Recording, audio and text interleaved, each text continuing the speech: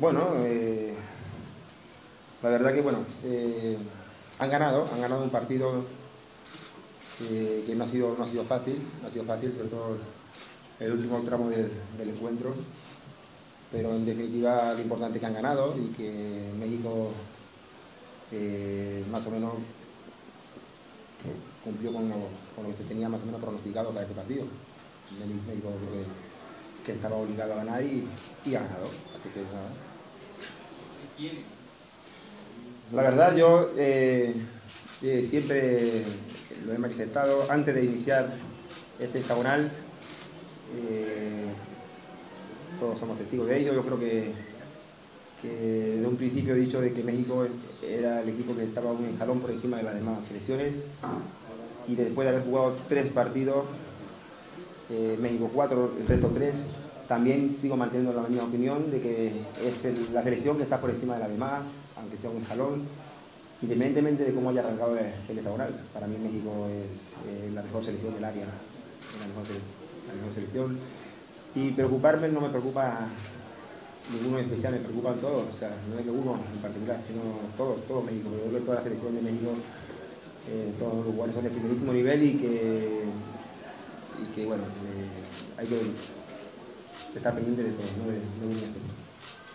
Yo creo que nosotros cuando preparamos los partidos, preparamos para que, para que más o menos todas las virtudes que puedan tener los rivales eh, contrarrestársela a todos.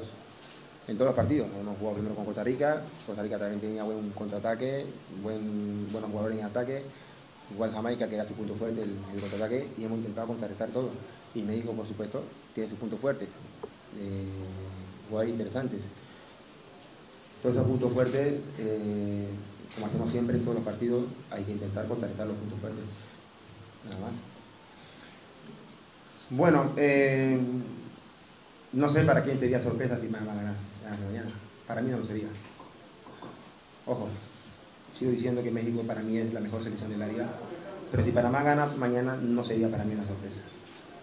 No, no creo que sería una sorpresa. Yo creo que Panamá ha demostrado un nivel muy competitivo y ha sido una selección que, que en casa eh, muy difícil se lleva un punto de aquí, entonces eh, por el trabajo que se ha hecho, se ha realizado, el- lo que han mostrado los jugadores hasta, hasta el momento del primer día que, que han jugado los partidos eliminatorios hasta la fecha, eh, hemos, hemos demostrado ser fuertes, hemos demostrado ser fuertes, así que yo no creo que sería una sorpresa.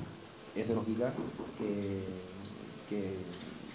sigo manteniendo de que más allá del resultado, para mí México es la mejor selección del año. Eh, con respecto a la, ¿Cómo controlar los aires? eso es un tema que ya hemos venido trabajando, es un tema que ya hemos venido trabajando.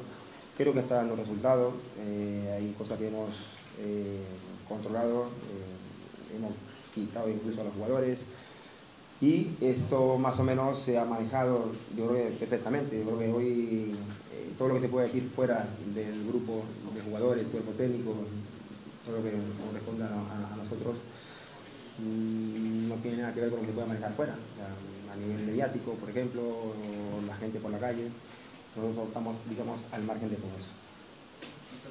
Para mí, todos los días yo tengo exámenes, eh, cada entrenamiento, porque uno también tiene que saber, como entrenador, saber controlar eh, la carga de los entrenamientos. Para mí, todos los días es un examen, cada entrenamiento. Nosotros tenemos 28 jugadores concentrados y en donde eh, uno como entrenador tiene la difícil tarea de sacar 11 de 28 y después de los 28 tiene que sacar a 23. Tiene que quitar a 5 y dejarlo en la tribuna. Entonces ya es una tarea bastante difícil. Yo creo que ya se son exámenes a día, a día, a día tengo exámenes. Ganarle a México, jugar contra México, eso es un examen más.